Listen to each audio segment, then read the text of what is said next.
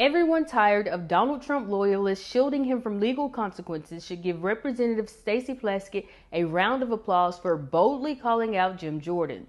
Plaskett tore into Jordan for holding a hearing in defense of Trump as he faces dozens of criminal charges at Wednesday's House Judiciary Committee hearing on government weaponization. Plaskett confronted the clear partisan agenda of the committee chaired by Jordan and exposed the attempts to protect Donald Trump from accountability for his actions, especially after Michael Cohen's bombshell testimony implicating Trump in the hush money scheme. Listen to how the hearing backfires right in Jordan's face. Like Natalie Winters, a Trump loyalist and an executive producer for Steve Bannon's show, have been mocking Chairman Jordan's leadership of the committee openly as you can see up there.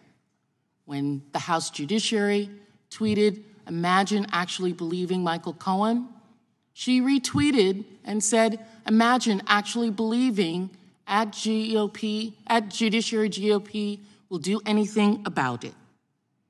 Just as one example, on Monday, she put that, that tweet up, and then Fox's Marie, Maria Bartiromo and Steve Bannon himself have gotten into the act. And here they are.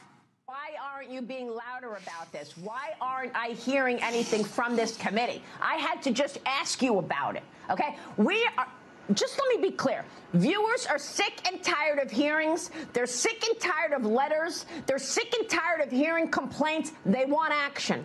President Trump is in a trial all day long, every day in New York City. Where is this committee of weaponization and what are you doing about it? I just spoke with Kevin Hassett, the former chairman of the White House Economics Council, and he said, Make no mistake, if we see President Trump go to jail because he violated this gag order, markets will react. Okay, Congressman, we're losing the country.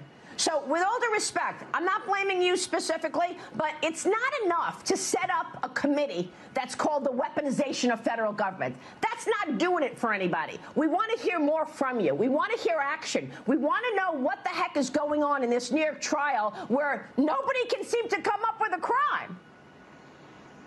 Well, I'll tell you what I'm specifically doing. Okay, okay, okay. No, I don't need to hear. I don't need to hear a backbencher. I'm sure you're a good guy. And I'm sure you're trying to do a lot, but it's not as Maria Bartiromo says. And man, she lit him up. We all heard her. It's not enough to set up a committee just called the weaponization of the federal government. That's not doing it. We want action. And that's why we're here today. We're here at the beck and call of Trump fanatics. As if that wasn't embarrassing already, Jim Jordan Republican witnesses go on to make his case even worse.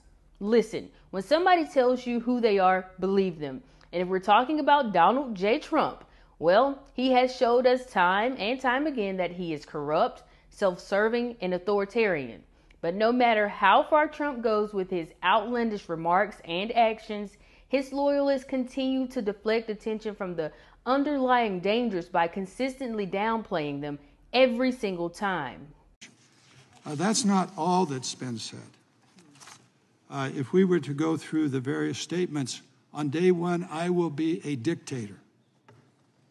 Is that an appropriate thing for an American president to, to be, or even to say he would be?